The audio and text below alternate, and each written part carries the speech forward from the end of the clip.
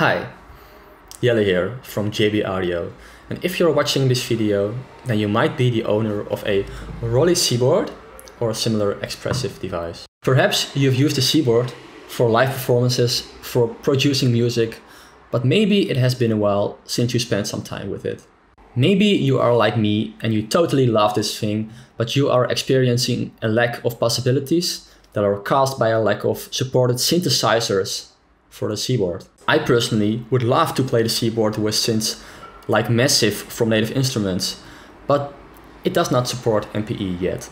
Of course, when you buy the Seaboard, you get a bunch of free stuff like the ROLI Equator. Also, there are a lot of MPE synths that you can buy from other companies, like the SWAM Violin. And even many popular instruments like Serum or Omnisphere now support the Seaboard, which is awesome. Still, there are many synthesizers that do not support the Seaboard. But today I would like to show to you a solution to this. This solution adds MPE support to all VST and audio unit synthesizers. This solution comes with the name MPEfy. So here it is, MPEfy. Currently MPEfy is loaded as a plugin into the DAW waveform. And MPEfy itself can load plugins as well. So here you can see I have loaded Massive from Native Instruments. And if I play it with the Seaboard that I've connected,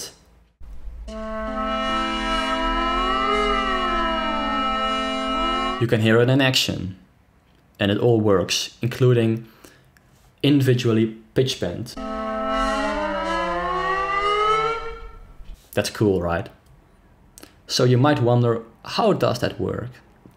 Well, I will explain it to you. MPEfy creates a unique plugin instance for every note that you play.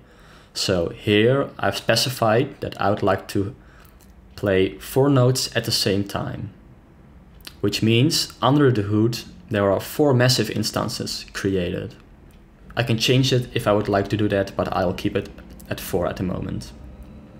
There are many things I can do. I can configure the MPE mappings here. So for instance, I've mapped pressure to the filter cutoff, as you can hear.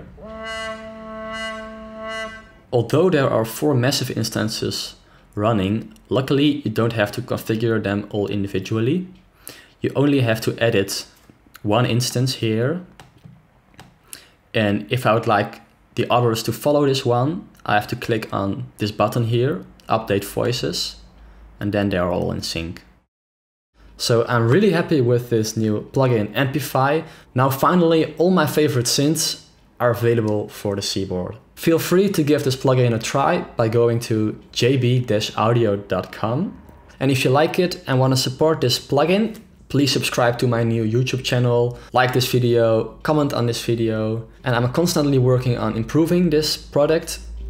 So if you have any feature requests, feel free to let me know and I'll see you next time.